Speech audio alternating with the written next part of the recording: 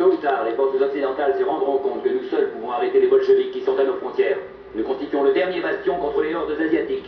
Il faut que Berlin tienne quelques jours encore, et après nous trouverons un arrangement avec les Américains.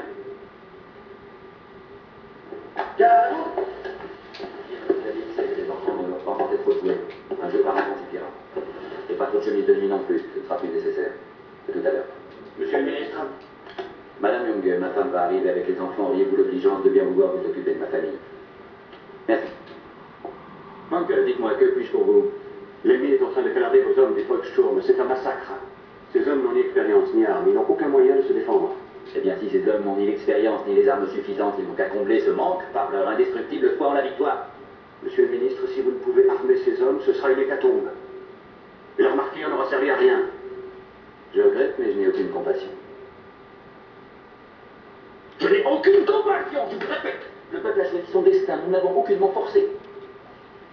Oui, il se peut que pour certains ce soit une surprise de taille. Rappelez-vous que c'était le choix du peuple allemand de s'en remettre à nous. Il est trop tard pour avoir les regrets. Aujourd'hui, qu'il ne s'étonne pas s'il se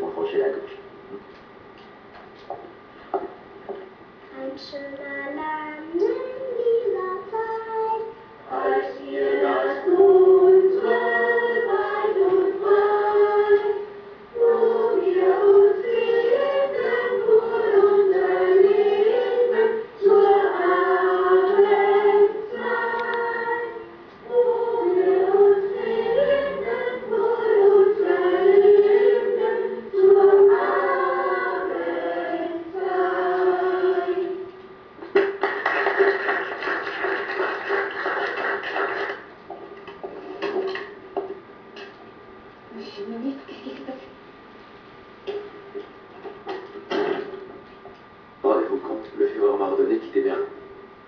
À moi, son plus fidèle collaborateur. Jamais je n'ai désobéi à un ordre du Führer, je vous le garantis.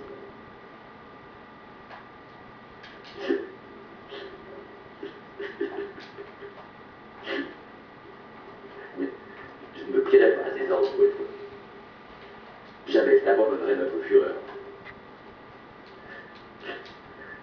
S'il vous plaît, Madame Young. Il faut absolument que je vous dicte mon testament personnel. Mais je suis justement en train de taper celui du Führer. Dans ce cas, nous verrons cela plus tard quand vous aurez un peu de temps.